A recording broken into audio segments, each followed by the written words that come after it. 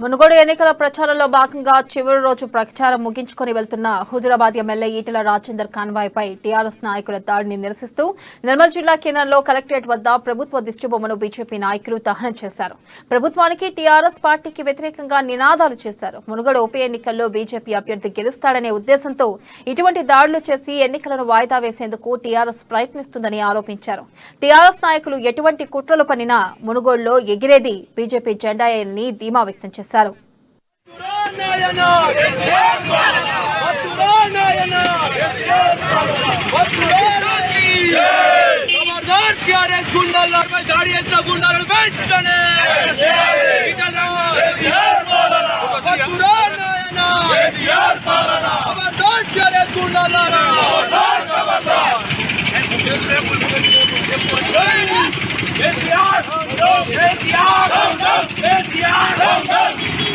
గుండాలారా దాడి చేసిన గుండాలను కార్యకర్తల మీద తర్వాత మన ఈటల రాజేందర్ ఎమ్మెల్యే మీద బీజేపీ ఎమ్మెల్యే మీద అమానుషంగా దాడి చేయడం నిజంగా శోచనీయం.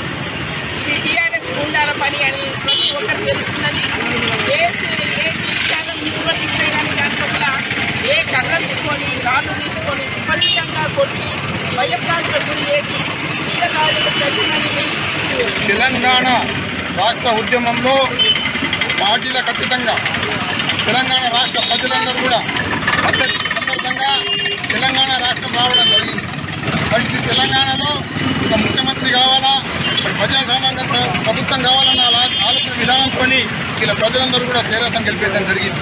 మరి ఈ కార్యక్రమాన్ని ఈయన చూసుకొని సొంత లాభాల కొరకు ఈయన మన కూతురు మన కొడుకు అల్లుడు ఈ విధంగా టీఆర్ఎస్ గుండలందరూ